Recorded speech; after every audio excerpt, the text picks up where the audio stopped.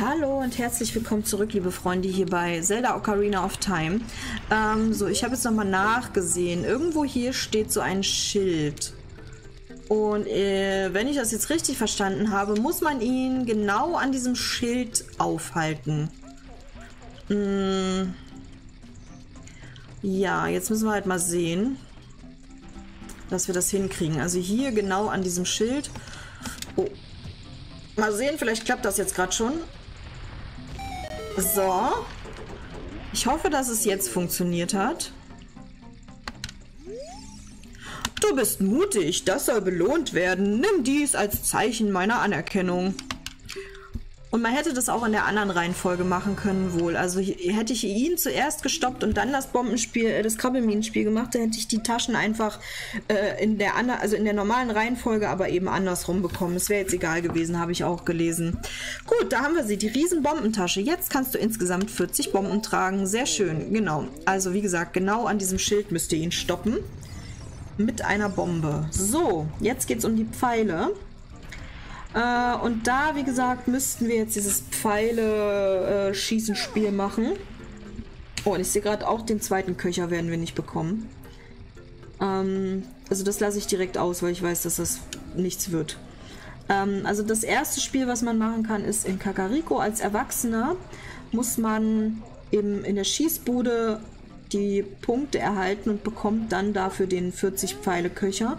Und den zweiten Köcher, den bekommt man für 1500 Punkte beim Reitspiel, wo ich das Herzteil gewonnen habe, bei den Gerudo. Äh, und ich habe mal gerade so auf Biegen und Brechen 1070 Punkte oder so geschafft. Ich glaube 1500 sind da einfach völlig abwegig. Also lasse ich das. So, was gibt's denn noch? Die, äh, ja, die kriegt man noch. Die silberne Schuppe, die haben wir ja bereits. Auch die goldene Schuppe haben wir bereits. So, und das ist das, was es an Ausrüstung gibt.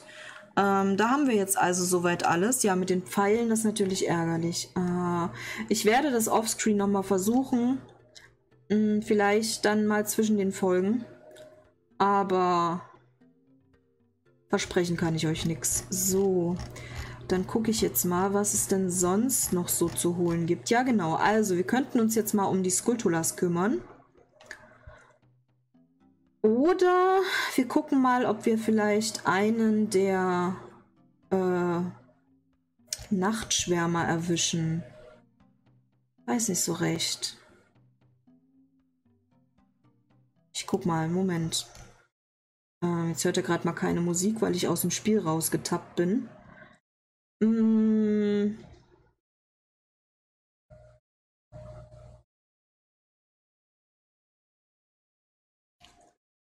Ja, gucken wir vielleicht mal erstmal nach den Nachtschwärmern. Dann würde ich... Nee, wobei, nee, ist auch blöd. Wir gucken nach den Skulptulas. Machen wir das. Ähm, es gibt ja insgesamt 100 Skulptulas. Und wir haben inzwischen, ähm, ich glaube, 63. Jetzt müssen wir halt mal gucken. Äh, einige haben wir ja bereits. Äh, vielleicht erinnere ich mich da noch dran, wo genau die waren. Oder wir klappern die Orte halt einfach mal alle ab. So, und zwar am Sora-Fluss. Da gibt es direkt vier Skulptulas. Und ich glaube, die haben wir auch alle vier schon. Zwar eine am Baum im, am Eingang, die haben wir schon geholt, da bin ich mir sicher. An einer Leiter unten am großen Wasserfall. Als Kind und nur in der Nacht an einer Leiter am großen Wasserfall. Ich glaube, die haben wir auch schon. Dann an einer Felswand oberhalb des Plateaus.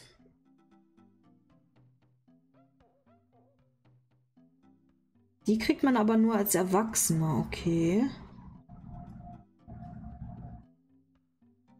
Hm. Oh, ich glaube, die muss ich auch offscreen mal abklappern, diese Skulptulas. Ich meine, da kriegt man jetzt nichts Besonderes mehr dafür. Ab, ähm, also man kriegt für 50 Skulptulas ja halt noch das Herz, das haben wir schon geholt. Und ab dann bekommt man für alle, ich glaube alle 10 oder so, kriegt man 200 Rubine geschenkt. Ja, ich glaube, dann werde ich die mal offscreen suchen. Und werde euch das dann reinschneiden. Immer, wo ich die gefunden habe. Wie wir das mit den Crocs damals gemacht haben. Genau, so mache ich das. Ich klappe die mal alle ab. Und wenn ich eine finde, dann mache ich ein, kleinen, ein kleines Video dazu und schneide euch das mal als Bonuspart zusammen, was ich dann äh, vielleicht am Ende noch mit hochlade. Und so machen wir das vielleicht auch mit den Nachtschwärmern, aber da werde ich dann nicht extra Videos dazu machen. Da zeige ich euch dann nur, wie ich den letzten abgebe. Äh, gut, ich glaube, dann können wir jetzt erstmal nichts weiter machen, als zum Schloss zu gehen. Und das werden wir dann jetzt auch tun. Ähm, genau. Also, machen wir uns wieder groß und gehen zu Schloss Hyrule und fangen da schon mal an. Und ich werde dann wahrscheinlich nach der nächsten, also nach dieser Folge mal gucken, dass ich das Zeug zusammensammle eventuell. Ja, mal sehen. Mal sehen. Dass wir das vielleicht alles diese Woche noch erledigt bekommen. Mal schauen, ob wir das schaffen. Ich glaube nicht, dass ich es schaffe, in zwei Folgen Schloss Hyrule zu schaffen. Naja, wir werden sehen. Gut, ja, aber ich meine, das wäre jetzt alles so viel Rennerei. Nachher ist da vielleicht gar keine Skulptula. Das ist dann ja für euch auch blöd. Die letzte Folge war schon so langweilig mit den Bomben die ganze Zeit. Deswegen will ich das nicht, nicht nochmal machen. Machen wir mal weiter mit der Story. Wir sind ja so gut wie durch, würde ich sagen, ne? Doch, doch, ja. Ich weiß jetzt nur nicht, ob ich, wenn ich einmal im Schloss bin, wieder rauskomme. Da bin ich mir gerade nicht sicher. Aber muss ja so sein, weil ich muss ja noch irgendwie diesen Felsen da vorne wegmachen können. Macht das eigentlich einen Unterschied, welche Rüstung ich trage? Das könnt ihr mir vielleicht mal in die Kommentare schreiben, ob das irgendeinen Unterschied macht. Also außer, dass ich halt mit der roten Rüstung feuerresistent bin und mit der blauen Rüstung unter Wasser atmen kann. Ob das einen Unterschied macht, wie viel Schaden man bekommt. Ähm, ich würde jetzt gleich erstmal wieder die grüne anziehen, weil keine Ahnung, ich das Gefühl habe, dass die irgendwie am besten ist. Äh, ich glaube nicht, dass das irgendeinen großen Unterschied macht. Ach, und zu Bigoron wollten wir ja auch noch. Wartet mal, dann machen wir das vielleicht gerade noch vorher. Die drei Tage müssten doch jetzt inzwischen wirklich endlich mal um sein. Äh, Moment, ich weiß das Lied, nicht aus dem Kopf. Ich würde gerne das Schwert wenigstens noch holen. Unten A, unten A, rechts unten, rechts unten. Okay.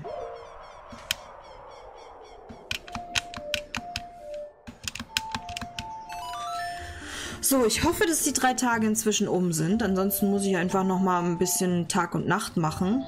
Ja, bitte, zum Todeskrater.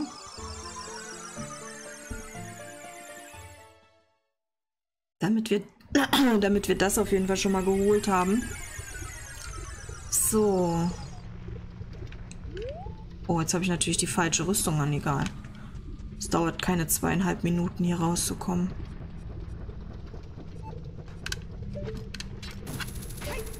Zack. Ähm, dann müssen wir hier lang und dann noch nach rauslaufen.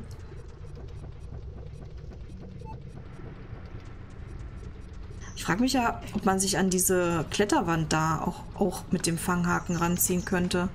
Habe ich noch nie ausprobiert, seit wir den langen Fanghaken haben, glaube ich. So.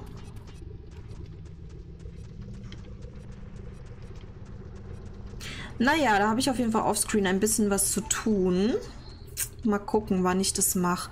Ich weiß noch nicht, ob es nach dieser Folge klappt, weil ich wollte eigentlich gerne die Folgen aufnehmen jetzt, bevor äh, ich andere Dinge mache. Mal sehen. Aber wir werden es eh nicht schaffen, äh, in zwei Tagen oder in zwei Folgen. Warum kriege ich das Schwert von ihm nicht? Ich verstehe es nicht.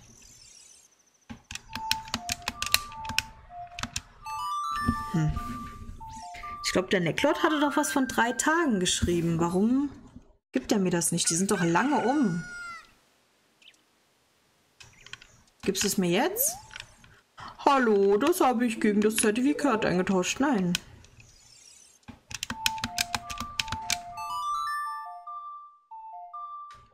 Muss ich wirklich einfach richtig drei Tage vergehen lassen, oder wie? Aber im Grunde ist das ja so. So, jetzt mache ich nochmal hell.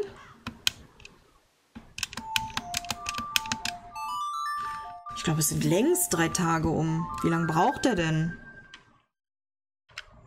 Oder darf ich hier einfach nicht stehen? Hä? Warum gibt er mir das nicht? Mensch.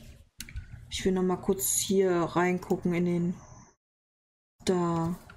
Das Langschwert. Du kannst zwar noch mal das Langschwert von Bigorun kaufen, aber zwei Schläge genügen, um es zerbricht. Musst du den Goronschmied erst einmal aushelfen. Das Tauschgeschäft. Ja, das haben wir ja gemacht. Bla bla bli bla blub. So. Mhm. Übergibt Link ein Zertifikat für das Schwert, das er innerhalb von drei Tagen reparieren will. Achso, muss ich ihm das wirklich zeigen oder was? Moment. Das kann sein. Ja, gut, macht Sinn, ne? Hier. Oh mein Gott, ich bin so doof. Hier ist es, endlich. Bam, du hast das Zertifikat gegen das Bigoron-Schwert getauscht. Diese Klinge ist unzerbrechlich. Nice. Okay, dann haben wir das auch. Äh, ich packe mir jetzt erstmal die Bomben hier drauf. Ist das jetzt aber besser als mein Master-Schwert? Kann ich mir kaum vorstellen. Und man muss es mit zwei Händen führen. Ich nehme trotzdem erstmal das Master-Schwert. Schön, haben wir das also auch erledigt. Wunderbar, das freut mich. Äh, dann kommen wir jetzt zurück zum Schloss.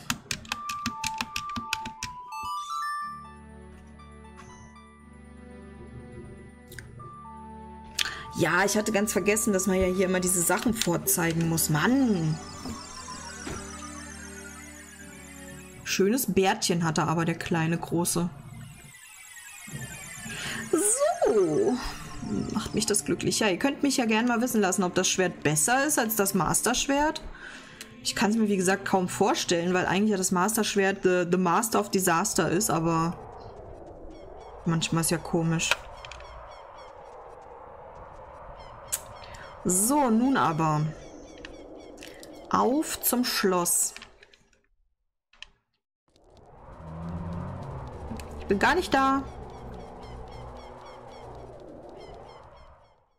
So. Okay. Mal sehen, wie lange wir dafür brauchen werden. Aber ich denke mal, spätestens nächste Woche werden wir Zelda Ocarina of Time wohl beenden, liebe Freunde. Link, hörst du mich? Hier spricht Rauru. Achso. Link, hörst du mich? Hier spricht Rauru. Die sechs Weisen sammeln ihre Kraft, um eine Brücke zum Portal von, Gen äh, zum Portal von Ganondorfs Schloss zu legen.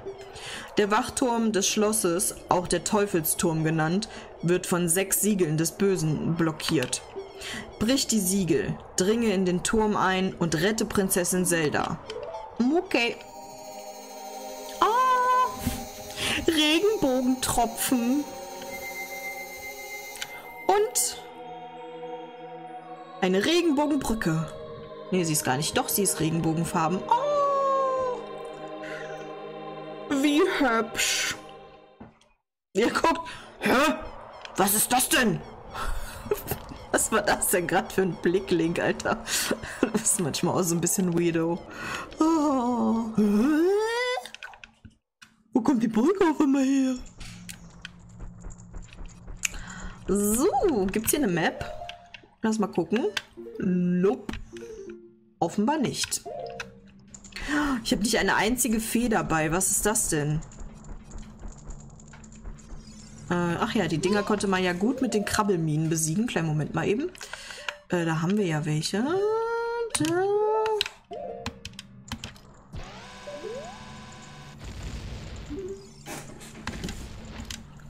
Vielleicht gibt es ja was dafür. Wer weiß. So, Navi, was ist denn schon wieder? Nein? Wolltest du mir nicht gerade noch was sagen? Hm. Daneben nicht. Äh.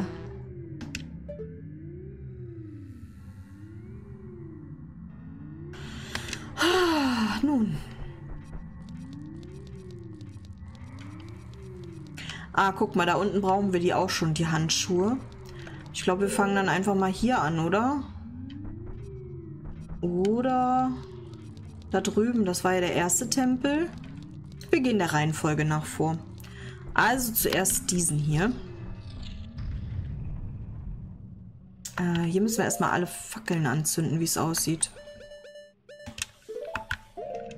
So, Moment. Ah.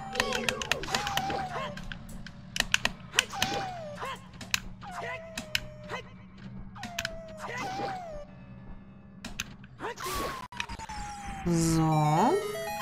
Und da bekommen wir direkt mal eine Truhe. Mhm.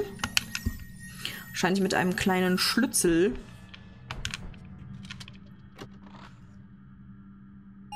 Nee, Rubine. Nice.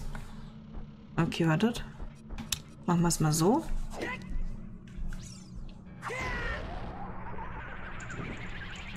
In der Hoffnung. Ja, und dann die, die da oben noch. Oh, obwohl wir halt nur fünf... Nee, wartet mal, ich mach's anders. Ich probier mal, wenn ich nochmal hier... Geht die an? Natürlich nicht. Hätte ich doch Pfeile bekommen. Das wäre doch viel besser gewesen. Meh. Im Grunde brauche ich die... Ja, ich nehme sie mal trotzdem. Im Grunde brauche ich die Feuerpfeile ja nicht, weil... Oh, ihr wollt mich veräppeln! Ah! Ich mache erst, ich mache erst das da oben.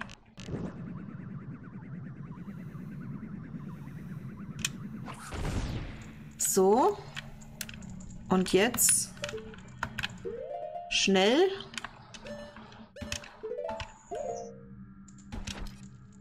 Zack.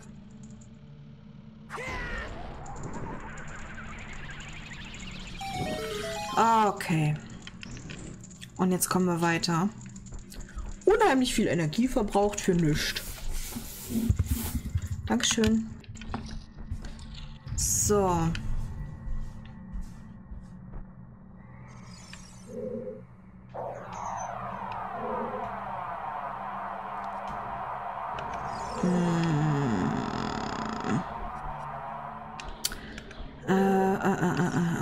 Ich glaube, ich muss hier mit den Gleitstiefeln reinhüpfen.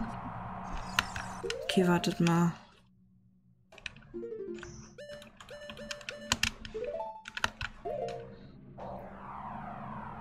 Kurz mal warten.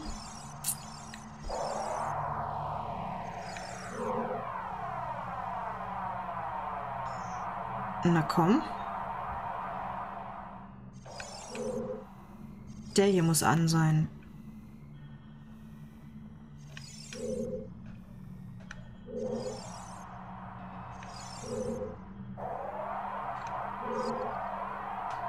Welcher ist denn jetzt? Ah. Ich sehe nicht, ob der sich bewegt. Jetzt hat er gerade wieder aufgehört. Ach, Manu. Jetzt.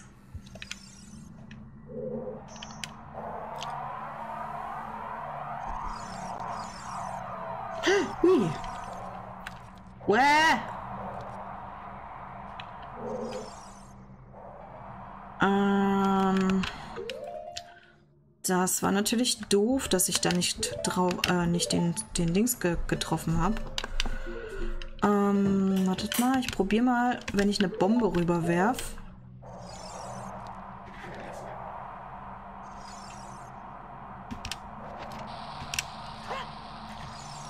Nicht getroffen. Nochmal. Jetzt. Ja, nice. Ähm, so. Ich könnte, wenn ich jetzt von ganz hier drüben mich wieder rüberziehe, könnte ich eventuell den da bekommen. Ich glaube aber, das schaffe ich nicht. Oder? Nee. Shit. Alles klar. So, also nochmal die Gleitstiefel.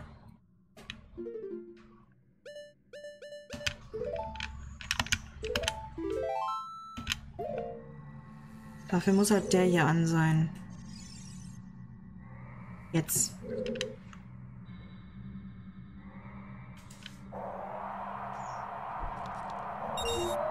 Wow. Okay. Mhm. So. Jetzt probiere ich erstmal darüber zu kommen. Wow. Oh, Link. Langsam.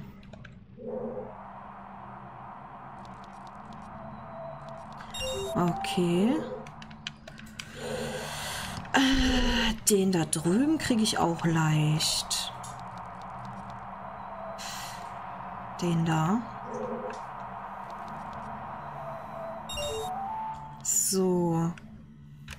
Und jetzt da unten mal den Schalter drücken. Mal sehen, was passiert.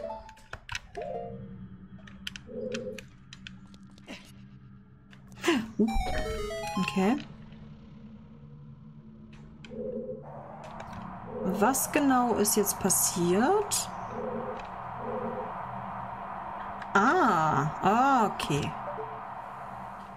Das äh, ist natürlich nice. Okay. Das war das. Und dann müssen wir darüber noch. Mal gucken. Schafft er das auch so darüber? Mal gucken. Yep. Ja, nice. Sehr gut. Fall doch nicht runter, bist du verrückt? Mann, Link, mit dir macht man schon mal Sachen mit, ne? Hopp. So, und jetzt muss ich noch darüber kommen, ohne runterzufallen. Zack. Und gleich wieder zurück. Gleich wieder zurück. Sehr schön. Wunderbar. Hast du das gemacht? Okay, und da haben wir das erste Siegel wohl offensichtlich. Aua. Äh.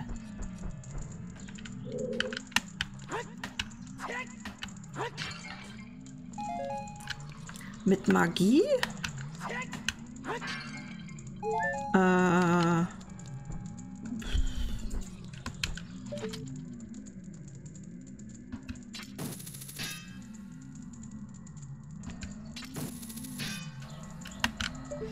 Wie? Hm.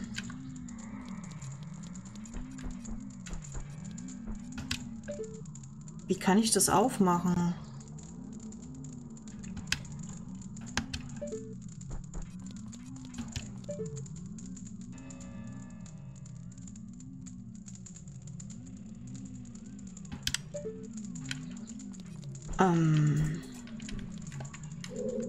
Ernst, wie löse ich denn diese Siegel? Mit dem Lichtpfeil?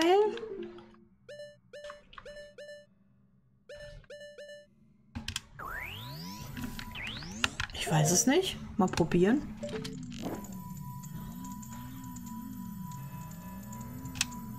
Ja. Nice. Okay, ich brauche neue Pfeile. Dringend. Okay. Siegel 1 gebrochen. Oh, hallo. Das Waldsiegel ist gebrochen. Beeil dich, Link. Mhm. Ihr könntet mir ruhig mal ein paar Pfeile geben. Wo bin ich jetzt? Wieder am Anfang? Ja. Okay. Sehr schön. Das Siegel haben wir also gebrochen. Okay, was kam als nächstes? Das Waldsiegel, das Wassersiegel, glaube ich, ne? Also das hier unten, das blaue. Gibt es hier irgendwo ein paar Pfeile vielleicht? Nee. Hm, machen wir das hier als nächstes. Okay. Noch sechs Minuten. Falls du das wissen wolltest.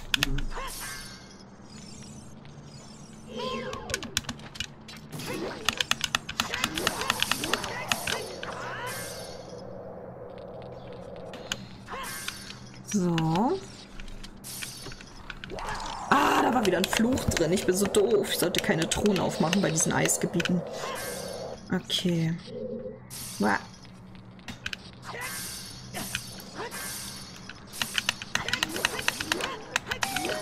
Okay. Jetzt ist die Tür da offen. Dafür brauchen wir blaues Feuer. Ich probiere trotzdem, das hier zu öffnen. Aber das hier zu öffnen. Und zu gucken, ob da was Gutes drin ist. Ah ja, ein Herz. Schön. So, blaues Feuer. Dafür brauchen wir eine Flasche. Oh, hier fallen hier dauernd Dinger von der, von der Decke, ey. Ich weiß, ich brauche gleich nochmal... Ich brauche gleich nochmal meinen Bogen. Okay. So.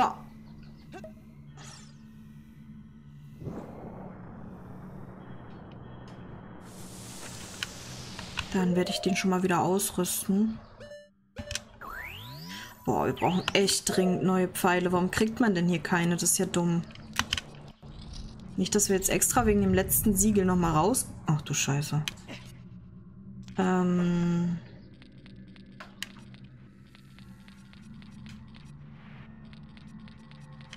Uah.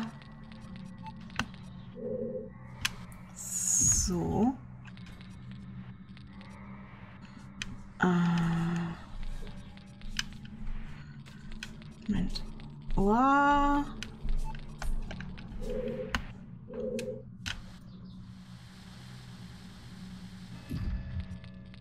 Hm. Nee, warte mal, muss ich, muss ich die Blöcke hier... Ah, ich bin so blöd. Ich glaube, ich muss die Blöcke da reinschieben, ne? Stopp, stopp, stopp. Oh, nicht einsammeln. Komm her. Ja, nice, eine Fee eingesammelt. Das ist gut. Das ist gut. Okay, ich glaube, ich muss noch mal raus aus dem Raum. Ich habe das verkehrt gemacht. Ich glaube, die Blöcke müssen... Oder, warte mal. Hä, wo muss dieser Block hin? Äh, bloß mal was anderes auswählen, nur damit hier die Fee nicht verloren geht. Hm, müssen die da in die Mitte rein? Es kann auch sein, dass die hier hinten rein müssen. Probier jetzt gerade mal, was passiert, wenn ich den da ins Loch reinschiebe. Ist doch bestimmt falsch, oder? Nee, ist richtig, okay. So.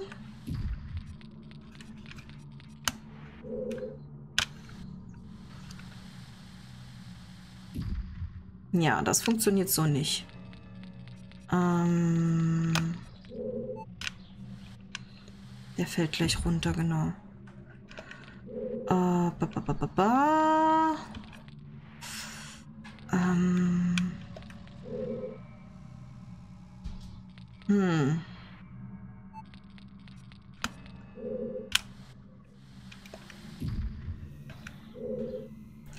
Ah, ich muss da hoch und aber mit blauem Feuer. Alles klar, ich verstehe. Wartet mal, kann ich den von hier auch schieben? Nein. Oder? Nee. Ah, wieder falsch. Lass los. Okay, ich muss da hoch, aber ich brauche blaues Feuer. Das heißt, ich muss sowieso noch mal raus. Hm. Oh nee, schon wieder ein Schieberätsel. Ich hasse Schieberätsel, Leute. Ich konnte das mit den Mammuts schon nicht. Nein, das war nicht richtig. Nein, das war auch nicht richtig. So. Okay. Na, mal gucken.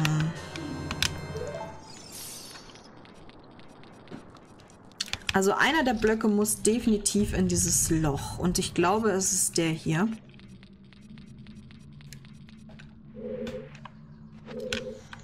So nämlich und oh, so. Okay, genau. Und dann kann ich... Ah ja, wir kriegen das noch hin. So, das ist das Letzte, was wir jetzt in dieser Folge noch machen.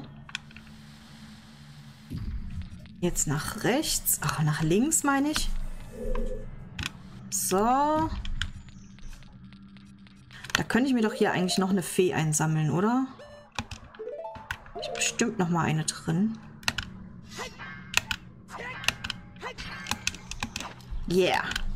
Nice. Nice, nice, nice, nice. So. Jetzt muss der Block da hinten rein und wir können mit dem Feuer da oben die Wand aufmachen. Und den Rest...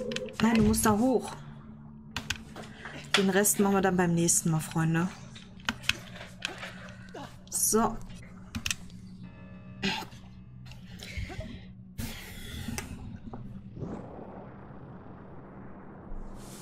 Okidoki. So, was dieser Schalter macht, das werden wir beim nächsten Mal erfahren, liebe Freunde. Wenn es euch gefallen hat, dann lasst mir doch gerne einen Daumen nach oben da oder auch ein Abo, gern auch den ein oder anderen Kommentar. Und seid beim nächsten Mal wieder mit dabei hier bei Zelda Ocarina of Time. Ich würde mich sehr darüber freuen. Bis dahin und tschüss!